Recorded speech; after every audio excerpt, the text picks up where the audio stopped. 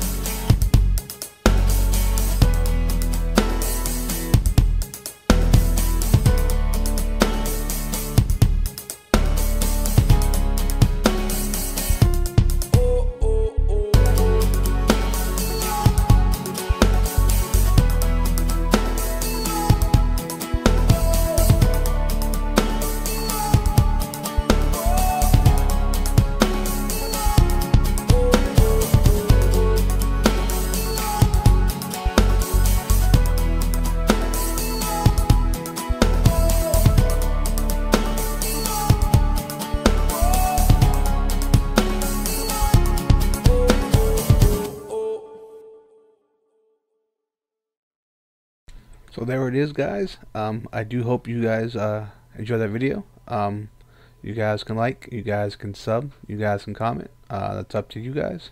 Um, once again, uh, this out on bad behavior here. Uh, later.